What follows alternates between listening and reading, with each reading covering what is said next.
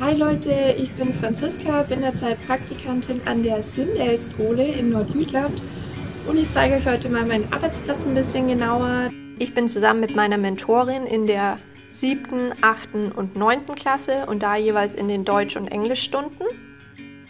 Wir befinden uns momentan hier. Das ist der Trakt, wo die Administratoren, die Schulleitung, Sekretariat und sonstige wichtige Leute sind. Insgesamt sind in der Schule ca. 700 Schüler. Sie gehen von der ersten bis zur neunten Klasse.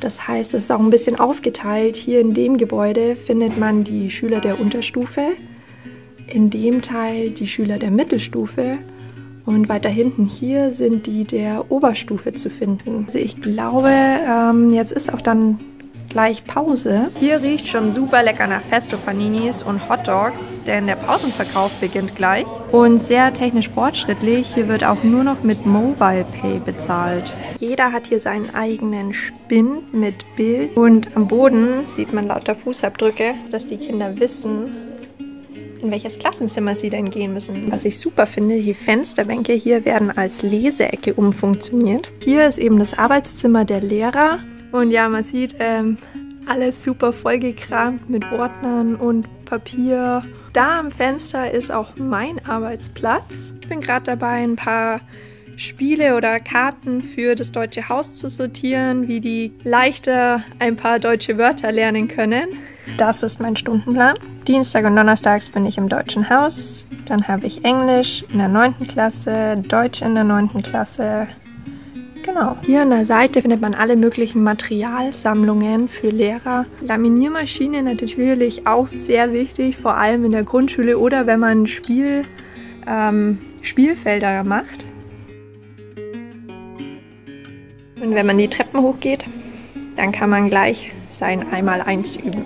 Das hier ist eigentlich so der Ort, wo die Lehrer ihre Frühstückspause oder Mittagspause verbringen. Der ist natürlich ganz wichtig in einem Lehrerzimmer. Ich würde mal sagen, der ist hier eigentlich im Dauereinsatz. Wo ist sie denn?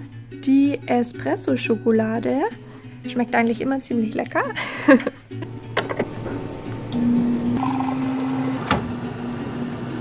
Und was schmeckt besser zu heißem Espresso, Kakao, als Zimtschnecken? Viele outen sich als Fußballfans jetzt. Das hier ist die Liste vom Leber, Pasteten und Nutella Club.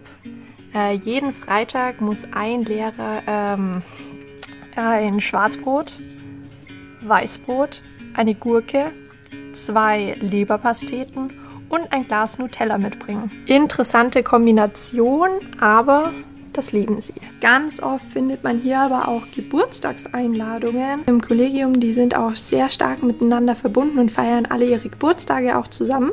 Letztlich ist das hier eigentlich so mein Lieblingsraum, wo ich ähm, viel in den Pausen verbringe denn hier ist eigentlich immer was los.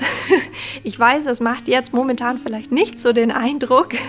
Ja, ich hoffe, ich habe euch jetzt einen kleinen Einblick geben können, wie denn so der dänische Schulalltag aussieht. Also ich habe mich für ein Praktikum im Ausland entschieden, weil ich einfach zum einen natürlich neue Leute und Kulturen kennenlernen möchte, aber auch den Einblick in das Schulsystem anderer Länder bekommen habe und äh, dadurch auch viel gelernt habe. Natürlich Praxiserfahrung, wie gebe ich mich vor der Klasse, wie wirke ich selbstbewusster, aber natürlich auch, ähm, wie man den Unterricht gestalten kann. Zum Beispiel hier wird ganz viel darauf geachtet, es spielerisch anzugehen und ähm, habe ich viel mitgenommen, dass es eben nicht wie in Deutschland immer zielgerichtet sein muss mit Büchern und Arbeitsblättern, sondern ganz oft eben auch der Weg das Ziel ist, dass Schüler hier eben selbstständig lernen und selbst dafür verantwortlich sind. Ja, vielleicht habe ich jetzt von dem einen oder anderen das Fernweh geweckt oder die Abenteuerlust, selbst einen Auslandsaufenthalt zu machen, sei es ein Praktikum oder ein Semester. Ähm, wie gesagt, ähm, ich persönlich kann immer sagen, es ist eine Erfahrung und es bereichert einen um Längen.